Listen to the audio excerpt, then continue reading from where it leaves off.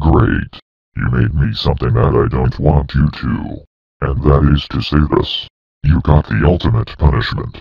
You made me pseudo furious. This punishment is impossible to turn off because I locked your shutdown button. You can't turn off your computer forever. Because I am so done.